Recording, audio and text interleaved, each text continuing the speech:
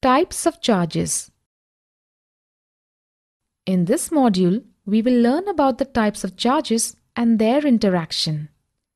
There are two types of charges, namely positive charge and the negative charge.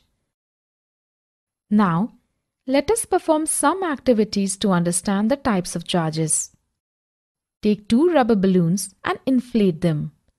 Tie a thread at the mouths of each of the balloon and hang them to that two nails in the wall separately so that they will not touch each other.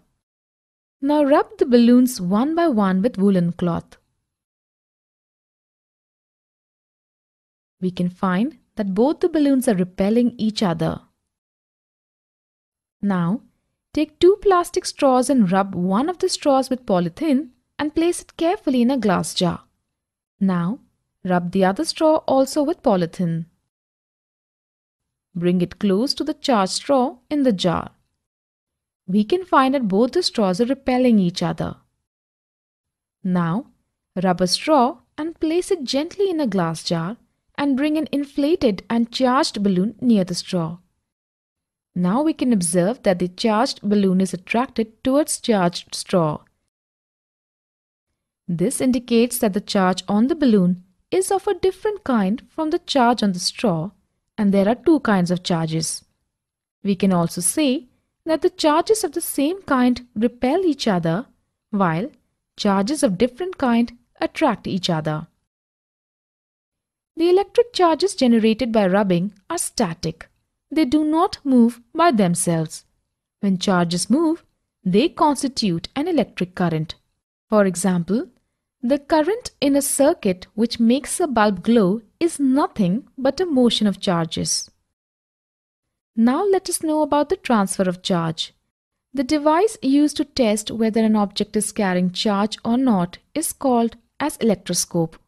Now let us prepare a simple electroscope. Take an empty glass bottle. Take a piece of cardboard slightly bigger in size than the mouth of the bottle and make a hole in it and insert a metal paper clip. Open out paper clip and cut two strips of aluminium foil about 4 cm into 1 cm each. Hang them on the paper clip. Insert the paper clip in the cardboard lid so that it is vertically hanged. Charge a straw and touch it with the end of the paper clip. We find that electrical charge can be transferred from a charged object to another through a metal conductor. Touch the end of the paper clip gently with hand and you will find a change in paper clip and in the foil strips. They come back to their original state. Repeat charging of foil strips and touching the paper clip. Every time we observe that the foil strips collapse as soon as we touch the paper clip with hand. The reason is that the foil strips lose charge to the earth through your body we say that the foil strips are discharged.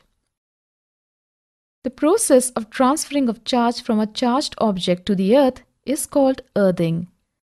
Thus, earthing is provided in buildings to protect us from electric shocks due to any leakage of electric current.